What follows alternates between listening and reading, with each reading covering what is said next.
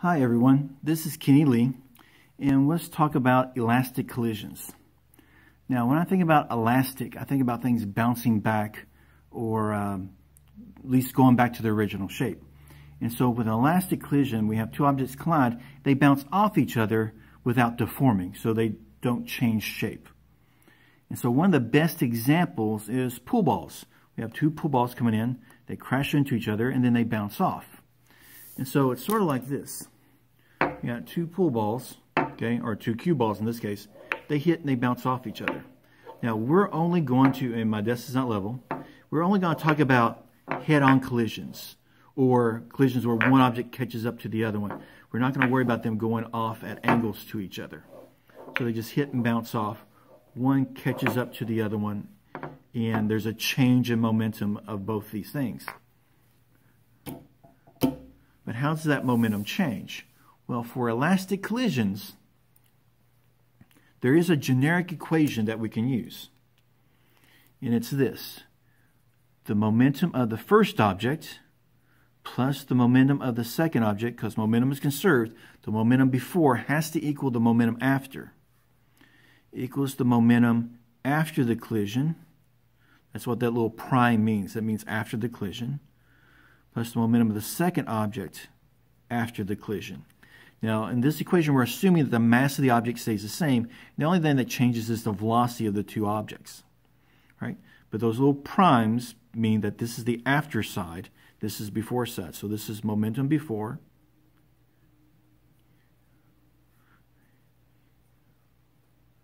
equals the momentum after.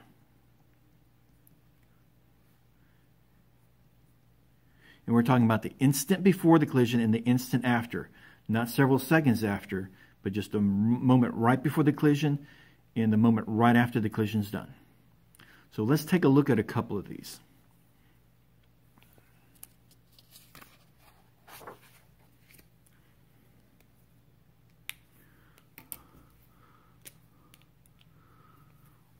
So for this one, we've got a 6 kilogram object traveling to the right at 4 meters per second, collides with the 2 kilogram object traveling to the left at 3 meters per second.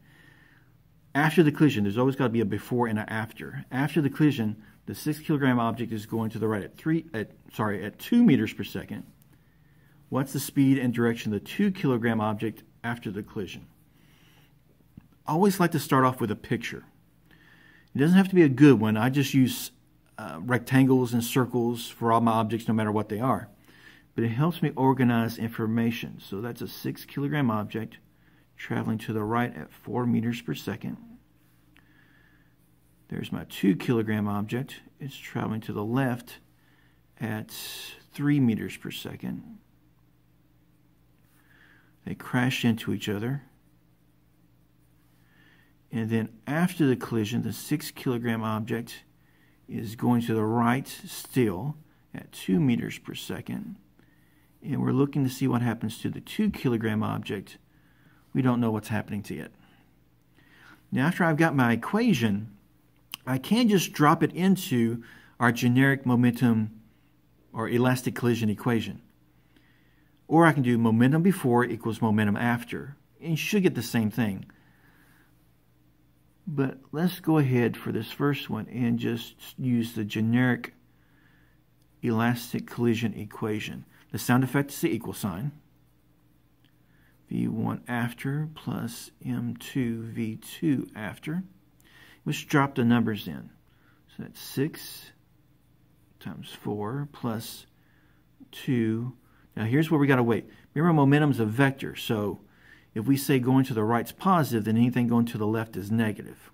And that's how we traditionally define it. Right's positive, left's negative, although you don't have to.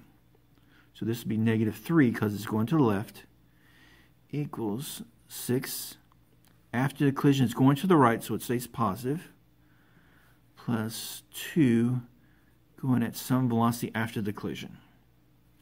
So now we just start working the math. So 6 times 4 is 24 minus, that's going to be 6, equals, that's going to be 12 plus 2v2 prime. Go ahead and add things together. So we've got this. So let's go ahead and break out the calculator so I do not mess up. 24 minus 6, 18 equals 12 plus 2v2 prime. Move the 12 over, so it's going to track 12 from both sides. So we get 6 equals 2v2 prime. So the velocity after the collision is going to be 3 meters per second. One of the things we're asked is what direction is it going? Well, since our answer came out to be positive, we know it's moving to the right because we said right's positive. If our answer came out to be negative, it would be traveling to the left. This one should be a perfectly elastic collision. And what that means is the kinetic energy of the two objects before, the total of them, the sum of that, will equal the sum of the kinetic energies after the collision. We're not going to do that calculation. We're just going to look at conservation momentum with this problem, but you can look at that later on and see that the total kinetic energy before the collision equals the total kinetic energy after a collision, and that is the definition of a perfectly elastic collision. We're just going to solve it like it's just any old collision. So we got a three kilogram object. Okay, here's my three kilogram object traveling at four meters per second. Didn't tell me a direction, so I'm going to choose right. Collides with a one kilogram object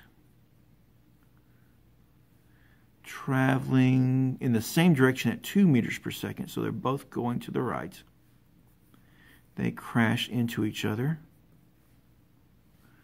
And then after the collision, the three kilogram object is still moving in its original direction, but now at three meters per second. So it lost some speed. And we want to know what happens to the one kilogram object. All right. Again, after we draw the situation, we can just drop numbers into our generic elastic collision equation.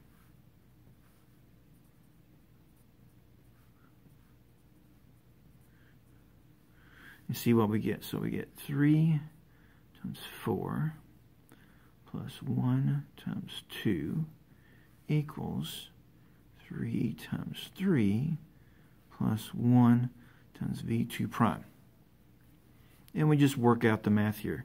So that's going to be 12 plus another 2 equals 9 plus, let's just call that v2 prime because the 1 really won't make a difference there. So 14 equals 9 so V2 prime. Subtract 9 from both sides, and we get 5 meters per second is that. And so it's going to the right at 5 meters per second after the collision. And again, if you check the total kinetic energy before, the total kinetic energy after, they should equal the same number.